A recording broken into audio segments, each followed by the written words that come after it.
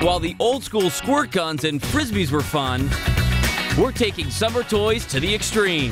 Flying to the top of our list, the Sky Bouncer.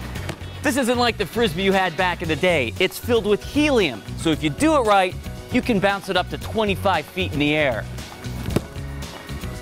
Yes. Nice. Want to get even more extreme? The Skyball's got helium in it too, so you can bounce this up to 75 feet in the air. You can get the ball and bouncer for 8 and 10 bucks at Toys R Us and Amazon.com.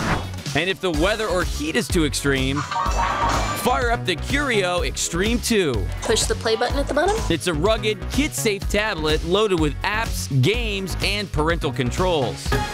It even includes motion games that encourage your kid to get up and get active. Get it at Target for around 130 bucks. Finally, take your squirt gun battles up a notch.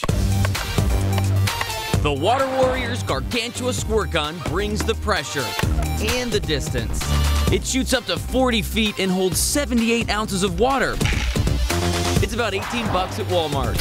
Taking summer fun to new heights. Extreme Summer Toys are on the breakdown.